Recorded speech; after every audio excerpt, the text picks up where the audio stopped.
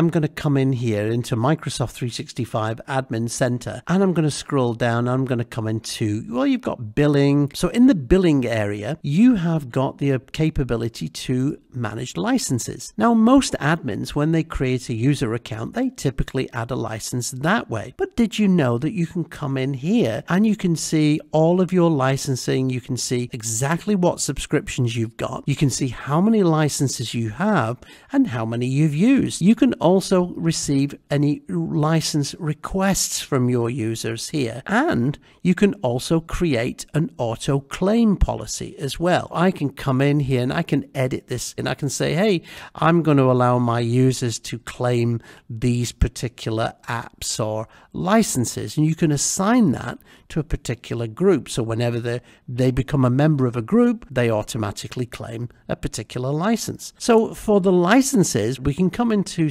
subscriptions here. You can see I've got a number of licenses here. Let's say just for the Intune suite here. I can assign licenses both to users but also and to groups as well. So I can simply select the groups. I can say add the license, put in the name of the group. I could say Oslo support, and I'm going to click on assign licenses. So all the members of that particular group will now be licensed for the Microsoft Intune suite.